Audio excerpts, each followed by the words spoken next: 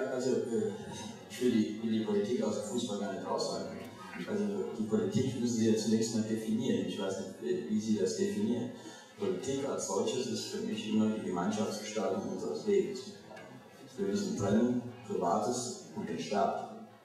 Alles das ist in unserer Gemeinschaftsgestaltung miteinander verbunden. Der Staat hat Aufgaben, er zeigt sich durch die drei Staatsgewalten, die wir haben. Da gibt es Verbände, zum Beispiel oder den Einzelnen, der in unserer Verfassung eine bestimmte Rolle hat. Und die Vereine und Verbände haben auch in unserer Verfassung bestimmte Rechte gegenüber dem Staat, die man im Allgemeinen als Verbands- oder Vereinsautonomie bezeichnet. Das heißt, sie sind mitten in unserem Gemeinschaftsleben drin und sind damit mitten in der Politik.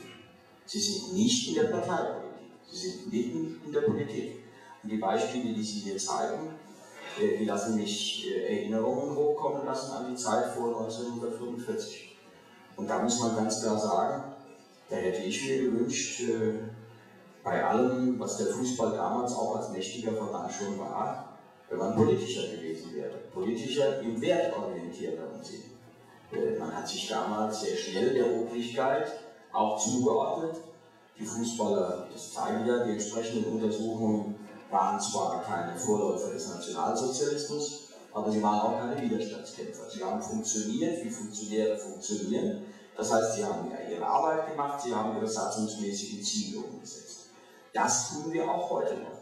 Aber ich bin der Auffassung, dass in der letzten Staatsform, die es nun mal gibt, das ist die demokratische Ordnung, mit den Grundrechten für die Menschen ausgestattet und dem Rechtsstaatsprinzip, ein so starker Verband, in dem 6 Millionen Mitglieder organisiert sind, ein Stück politisch sein muss, wenn es darum geht, diese demokratische Ordnung mit ihren Werten zu verteidigen. Und klar und deutlich zu sagen, wenn dort wie jetzt zum Beispiel in Leipzig oder in Dresden irgendwelche Chaoten mit Nazifahnen durch die Gegend ziehen, das kann nicht Sache des Fußballs sein. Wenn dort Fußballer mitlaufen, dann gehören die nicht zu uns, das muss ich ganz deutlich sagen. Wir können in unserem demokratischen Spektrum, kann jeder machen, was er will. Aber wenn man aus dem, was über unser Land hereingebrochen ist, in dieser Zeit von 33 bis 45, nicht die richtigen Lehren herauszieht, dann muss auch ein Fußball politisch sein. Und wir haben, und da muss ich immer wieder daran erinnern, äh, ein ganz besonderes Zeichen hier gerade in Nordrhein-Westfalen, wie ein Fußball politisch reagieren kann, durch Egidius Braun damals erlebt, als dieses schreckliche ausländerfeindliche Attentat in Solingen war. Ich komme immer wieder darauf zurück. Da war es der damalige DFB-Präsident, der gesagt hat, ja, jetzt gibt es ja zwei Möglichkeiten, wie immer weggucken und nicht äußern, oder zeigen, wer im Fußball Verantwortung trägt, kann sowas nicht akzeptieren.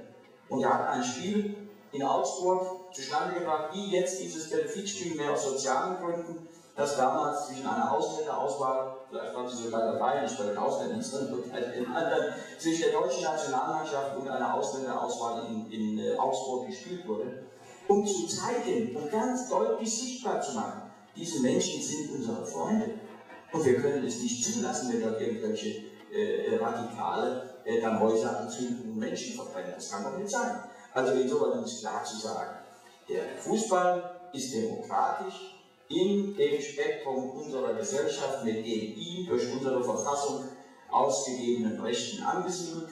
Er muss mit allen Demokraten zusammen dann wenn es in dieser Demokratie an den Rändern auszufransen gilt, deutlich klar zeigen. Und das ist ein politischer Auftrag, den wir haben, ein Stück die Werte unseres Grundgesetzes aus der Erfahrung einer wirklich zum Teil nun nicht wirklich erforderlichen Vergangenheit heraus ein Stück zu verteilen. Deshalb, äh, ich will den Fußball nicht aus der Politik heraus haben, ich will ihn drin haben, was aber nicht heißt, dass wir parteipolitisch die Dinge gestalten. Wir zwei sitzen nebeneinander hier, in unterschiedlichen Parteien organisiert. Das gehört zu unserem, zu unserem notwendig, sonst hätten wir ja diese Demokratie nicht. Aber wir müssen dort, wo wir Fußballinteressen vertreten, auch im Interesse des Verbandes zusammenarbeiten. Wir müssen ganz eng zusammenarbeiten, wenn es darum geht, an den Rändern Entwicklungen abzuwehren, die uns nur wehtun können.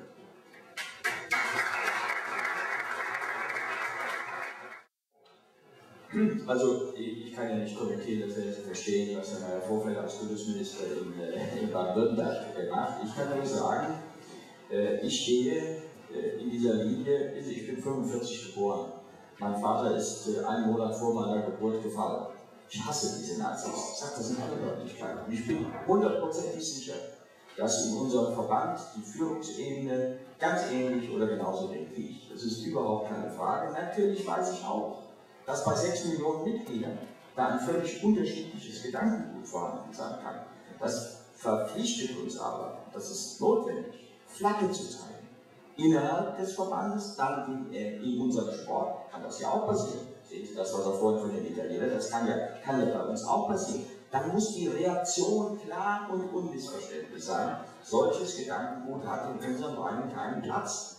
Und wenn es außerhalb des Fußballs passiert, dann müssen wir uns auch dazu positionieren dürfen. Dann müssen wir mit den demokratischen Parteien klar und deutlich sagen, wir bauen auf einem Wertesystem auf, das diese Dinge nicht zulassen kann. Und äh, ich stehe da nicht allein, machen Sie sich keine Sorgen, sonst wäre ich nicht Geschäftsführer Präsident des DFB geworden. Das steht für mich außer Frage. Wir haben gerade in unseren Verbänden, ich denke hier immer wieder nach Kaufmacher, hier in Westfalen, haben wir immer wieder gesehen, wie deutlich sich auch dort die Führungspersönlichkeiten dann, wenn in den Vereinen mal sowas passieren konnte, sich positioniert haben und auch klar machen, dass wir das nicht wollen. Ich beschreibe keine heile Welt. Der Fußball ist so gut und so schlecht wie die Gesellschaft insgesamt. Er bemüht sich, durch besondere Leistungen in der Integration und darüber hinaus Vorbildliches zu leisten. Aber er ist natürlich keine Ansammlung von Heiligen. Das haben wir nicht. Weiß Gott nicht. Aber wir müssen Flagge zeigen, wir müssen eintreten für diese demokratische Kultur, die wir uns nach 1945 aufgebaut haben. Das denke ich, äh, werden wir zumindest, äh, soweit ich das äh, verantworten kann, immer beibehalten und ich weiß, dass ich da viele, viele Mitstreiter habe.